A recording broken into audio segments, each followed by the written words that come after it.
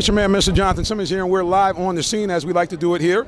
And we're at the Georgia Entertainment Gala, and I'm with a beautiful woman here that you can check out on 107.9 every morning. The love of lovely Miss Ebony Steele in the house. That's right. With the Rickey Smiley Morning Show, you looking nice yourself. You put this together yourself, or did somebody help you out?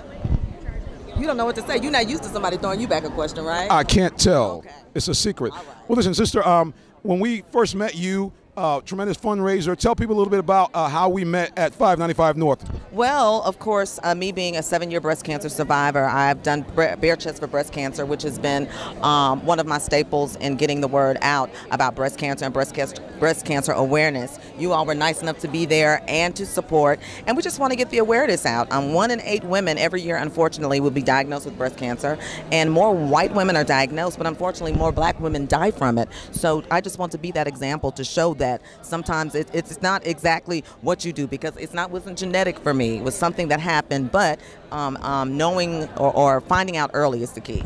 Well, I tell you, it, it really is fascinating because we do sometimes associate breast cancer with being primarily a white woman's disease, but again, those are stunning figures that normally women of color die quicker. Right. Oh yeah, it is. It is. And I, you know, knowledge is power. And I think the more we know in any state, and with African Americans, it's not just breast cancer, but you know, um, if you're thinking about heart disease, diabetes, all of that stuff together coincides. And so your body is the one body that you're given. You're in charge of it. So we have to take charge of our health and do what we can. And like I said, knowledge is power. So knowing is the key. There you go. Well, how can people kind of follow not only you, what you, what you do on the radio, but the fundraisers and things you're doing with breast cancer? ebonysteel.com is the website. Uh, I'm sorry, ebonysteel.com um, um, is my website, and you can also follow me on Twitter, Ebony Steele with an E.